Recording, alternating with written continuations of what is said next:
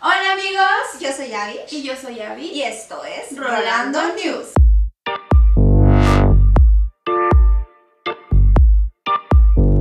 Abby, ¿cómo estás? ¿Cómo te sientes de estar otro lunes aquí en casa? Amiga, me siento súper bien, súper contenta de estar una vez más contigo, compartiendo cámaras, claro que sí. ¿Tú cómo te sientes? Yo también me siento muy contenta de estar otro, otra semana más con ustedes, otra semana más contigo y pues nada, bien ready para traerles lo mejor. Así que vamos a comenzar. Y vamos a empezar diciendo que Metallica ya anunció gira en el 2020 y será en Latinoamérica. Empieza por Chile, se sigue en Argentina y termina en Brasil. Todo esto será en abril, el 21, 23, 25 y 27 del mismo mes. Aún se desconoce el resto de las fechas de sus presentaciones, pero hay que recordar que en el 2017 vinieron a México, entonces no podemos descartar la posibilidad de que vengan a las tierras aztecas. ¿Sabes tú qué opinas? Pues yo creo que sí van a venir.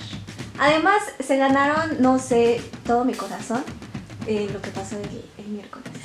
Ah, para los que no saben, la banda de heavy metal el pasado miércoles donó 250 mil euros a un hospital de cáncer infantil en Rumania. O sea, eso no lo hace cualquiera, ¿estás de acuerdo, Avish?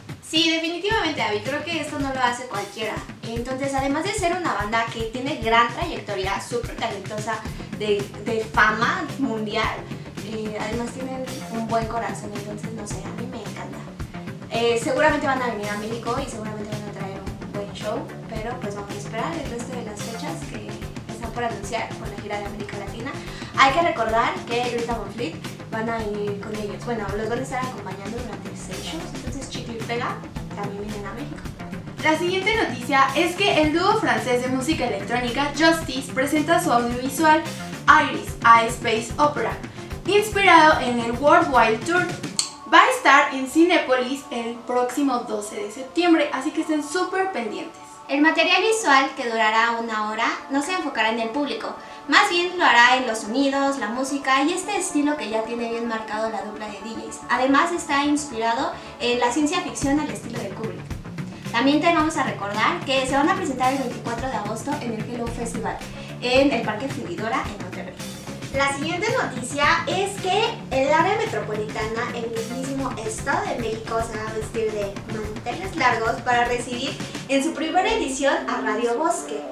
Dicho festival va a ser una mezcla entre música y naturaleza. ¿Qué más podemos pedir? Y el 14 de agosto nos revelaron su cartel oficial en el que va a estar Underworld, Hot Chip. Hot Chip y The Blaze, entre otros.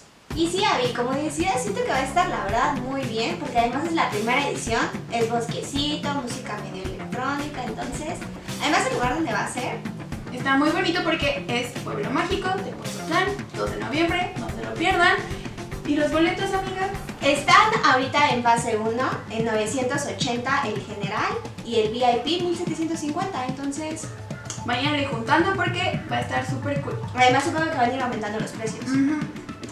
Y ahora sí, una de las noticias que a Abby y mí nos gustó muchísimo es que Matthew Haley, el vocalista de la banda 1975, durante uno de sus conciertos en Dubai, estaba ahí echando el harto show y ¿qué creen? Que su fan le gritó así de que ¡Cásate conmigo! Y pues el súper lindo se bajó del escenario y le plantó un besote que, ufas amigos, a todos nos hubiera gustado que nos besara ese gran hombre. Y es que ustedes dirán, ¿eso qué, Abby Abby? ¿Por qué les gustó? ¿Acaso son unas fangirls desquiciadas de Matthew?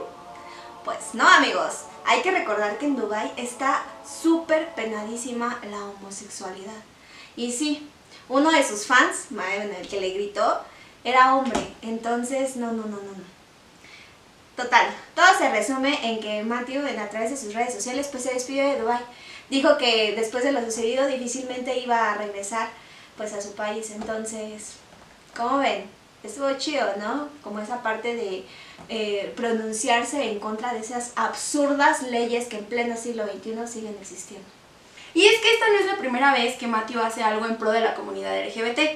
El año pasado hizo una donación para el primer centro de la comunidad LGBT en Londres, entonces está súper cool que haya hecho esto sabiendo que le iba a ir mal, no tuvo el temor de arriesgarse y lo hizo.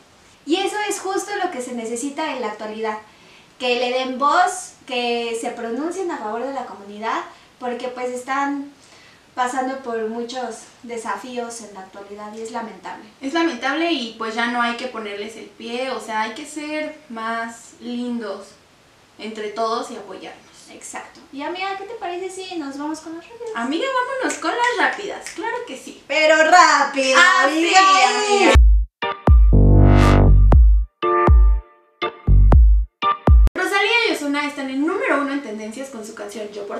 Por mí. Ve a escucharla y dinos qué te parece aquí en los comentarios. Debido a la promoción de su nuevo álbum, Cage the Elephant regresa a la Ciudad de México, esta vez en el Pepsi Center, y los boletos ya están a la venta a través de Ticketmaster. Interpol y Franz Ferdinand se presentan en Monterrey y Guadalajara. En Monterrey el 12 de noviembre y en Guadalajara el 14 de noviembre. Ya tenemos cartel oficial del Festival Catrina, que se llevará a cabo el 7 de diciembre en Puebla. Los que están encabezando la lista es Hombres G, Panteón Rococó y Cártel de Santa. Pues nada, esperemos que les haya gustado este video. Acuérdense que lo hacemos con mucho amor para todos ustedes. Acuérdense de seguirnos en nuestras redes sociales. En todos lados aparecemos como Rolando Radio. Acuérdense de darle like al video, de activar la campanita de notificaciones y pues coméntenos qué les pareció el video. Suscríbanse, muy importante. Suscríbanse. Sí, sí, sí. Y pues nada, yo soy Avish. Y yo soy Abby Y esto fue Rolando News.